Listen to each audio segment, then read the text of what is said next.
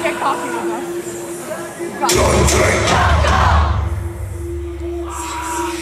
Stop your goddamn.